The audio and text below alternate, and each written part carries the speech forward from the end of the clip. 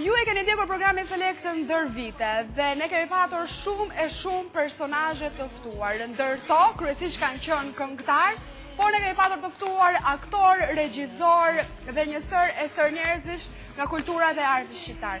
Një figurë e njohur, por ndoshta edhe e panjohur për publikun shqiptar është me ne në këto momente në programin Select. Mirë se vjen, Klodiana Skënderi. Mirë se vjen. Kënaqësi që të kemi në studio. Edhe për mua. Ajo ka një CV shumë të pasur për sa i përket eh, violinës, dashurisë më të madhe të jetës saj, nëse s'gaboj, sepse është eh, tashmë ka edhe dy fëmijë, një bashkëshort, është një dashuri më vete kjo. Cila ka vënë vetë? Do të vija idenë e lëvizjes tonë nga Shqipëria, në moshën 13 vjeçare. Po siç e thatë dhe ju në 13 vjeç, pata shansin Që të shkoj për studime në Francë, në moshën 17 vjeç, mbasi mora çmimin në konservatorin e Parisit. U riktheva në atdhe, punova 3 vjet. Në moshën 13 vjeç ju fituat një çmim? Jo, në 13 vjeç fitova, jo, jo, eksakt, fitova bursën e të drejtën e studimeve, si si shumë kolegë të mi që ikën në të njëjtën periudhë. Dhe mbasi i kreva këto studime me Me çmimin e parë të konservatorit të Parisit, u ktheva në Shqipëri, punova 3 vjet si soliste e teatrit të operës dhe baletit. Edhe ishin vitet më të pasura sepse jepja koncerte, çdo gjë ishte në dispozicionin tim. Dhe pastaj me ndryshimet në Shqipëri, si shumë e shumë të tjerë, për arsye edhe personale dhe afektive,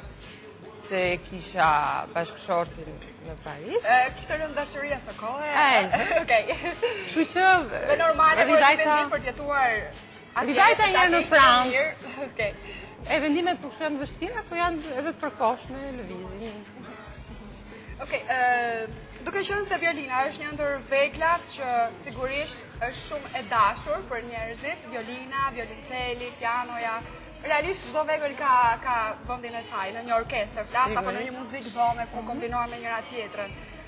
A, ka qenë e vështirë ideja të rrish për orë e orë të tëra e për vite e vite të tëra, duke studiuar ato partet, ato saxhot e provimet e më pas pjesë e orkestrave të mëdha.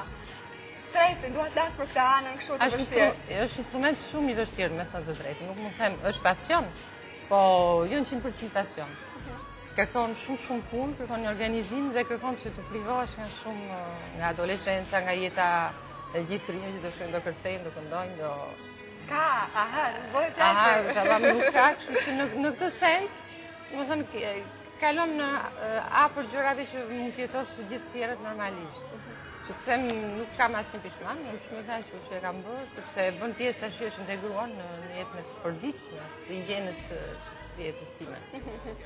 Okej, ne kemi shumë, shumë artistë shqiptarë që jashtë kufinjëve tanë janë shndërruar në simbole atje ku jetojnë.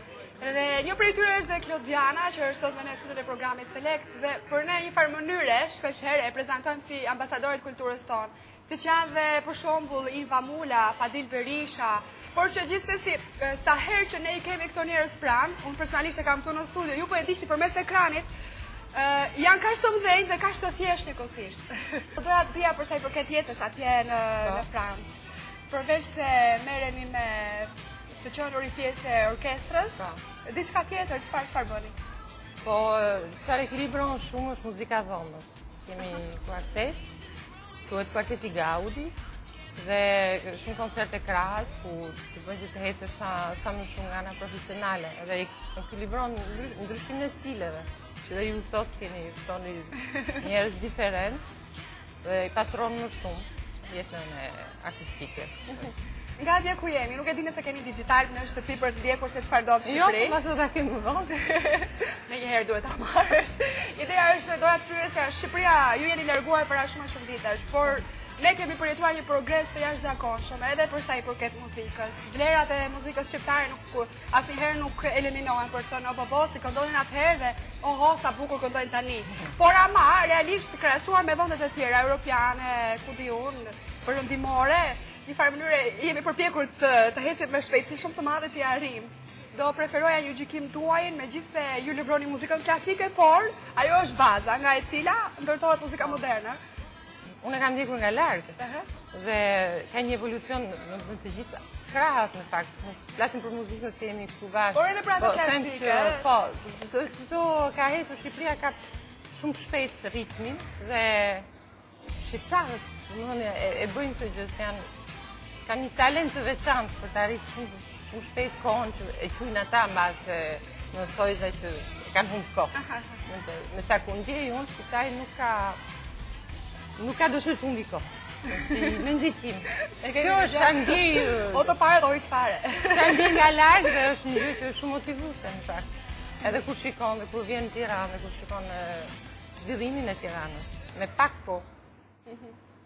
Ok, uh, dakor, folëm paksa një loj rezumeje, folëm për momentin, folëm paksa për muzikën, po ka shumë e shumë artistë të cilët studiojnë sot në lice, apo në Akademinë e Arteve, për violinë, apo për vegla të tjera, për kanto, studion, që do donin një mesazh ndoshta nga ana juaj, dhe përveç këtyre janë dhe shumë e shumë të tjerë që janë tashmë të diplomuar, tentojnë të ecin, e kanë shumë vështirë në klasë muzikën klasike këtu, sepse e mendojnë si pa të ardhme,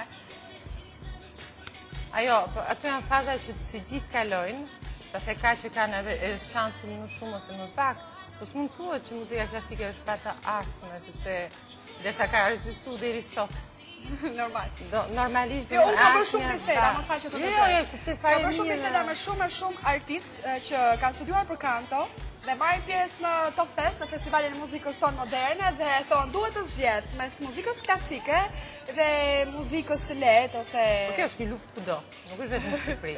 Se është shumë më e lehtë tani që të të hecësh në muzikën e lehtë se muzikën klasike.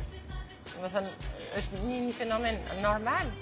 Kështu që pastaj është një një zgjedhje personale e personit sa e merr qëllimin e çon deri në fund dhe thotë më mirë të kem të bëj pasionin tim dhe të jetoj më pak mbase të njohur dhe është Po nuk është për të deprimuar.